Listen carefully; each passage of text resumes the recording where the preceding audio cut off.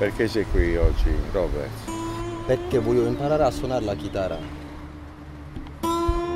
Voglio essere il miglior chitarrista di blues.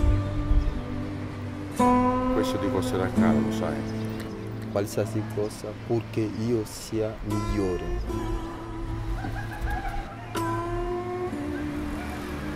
Prima.